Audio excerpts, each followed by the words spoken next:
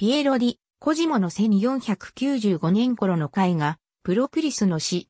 プロクリスの横に描かれているのがライラプス。ライラプスはギリシア神話に登場する猟犬である。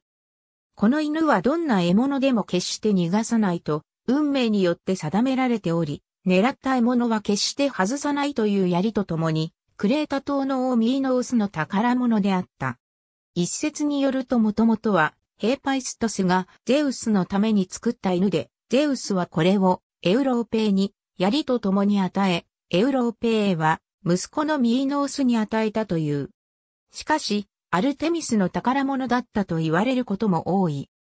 神話によると、アテーナイの王エレクテウスの娘、プロクリスは、夫ケパロスと仲違いした時に、ミーノースあるいはアルテミスからライラプスと槍を得て、ケパロスと仲直りした際に、それらを夫に与えた。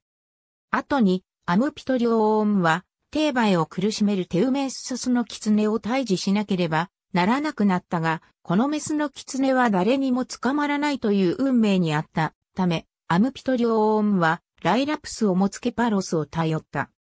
そこでタポストの戦争で得られるであろう。戦利品と引き換えに、ライラプスをテーバイに連れてきて、狐狩りを行ったが、メギツネは逃げ切ることができず、ライラプスもメギツネを捕まえることができず、延々と追いかけ続けた。あるいは、メギツネを捕まえそうになった。これを見たゼウスは、ライラプスが獲物を取り逃がすことも、メギツネが捕まることも運命に反していたので、両者を石に変えてしまった。ありがとうございます。